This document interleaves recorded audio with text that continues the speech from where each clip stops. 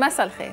أعلن المسؤولين بولاية كاليفورنيا الأمريكية عن تخفيض استهلاك المياه بنسبة 29% بدءا من شهر أيار الماضي وذلك دعما لجهود ترشيد الاستهلاك بالولاية اللي عم بتعاني من أكبر موجة جفاف بتاريخها وأدى الطقس الجاف لأضرار بالقطاع الزراعي ولأول مرة من 40 سنة خضعوا المزارعين لتأنين بالمياه وأقر مجلس تنظيم الموارد المائية بكاليفورنيا قانون تنفيذ مشاريع تحلية مياه المحيط لمواجهة موجة الجفاف المدمر وذلك للاستفادة من مياه المحيط لتعويض النقص بالمياه العذبة. وبالعودة لطقسنا صيفي معتدل عم بيسيطر على لبنان والحوض الشرقي للبحر الأبيض المتوسط حرارة معتدلة رطوبة عادية بحر معتدل الموج وحرارة مياهه 26 درجة. الليلة طقسنا بلبنان رح يكون غائم جزئيا مع استقرار بدرجات الحرارة على الساحل وضباب وانخفاض بدرجات الحرارة على الجبال والمرتفعات.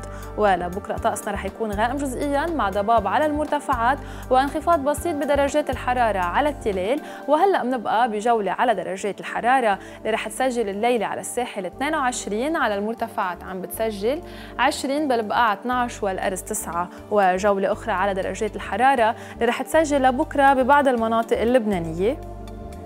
إذا 27 برحبة معاد 28 درجة بننتقل من بعدها إلى الجمهور 29 ولبعة 28 البازورية 28 درجة كفر رمان 26 المختارة 25 درجة وزكريت 29 أما أديشة ف 23 والرطوبة عم تتراوح بين 55 و 75% حرارة سطح الماء 26 درجة وسرعة الرياح بين 10 و 30 كم بالساعة ورياح عم بتكون جنوبية غربية. أما كيف رح يكون الطقس الليلة واليومين اللي جايين؟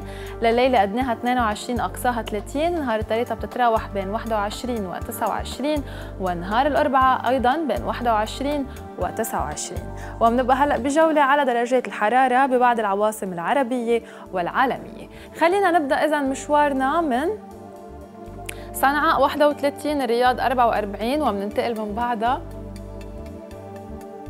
إلى الجزائر 36 وتونس 35 درجة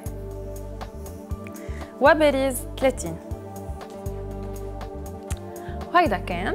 كل شيء باي. Bye.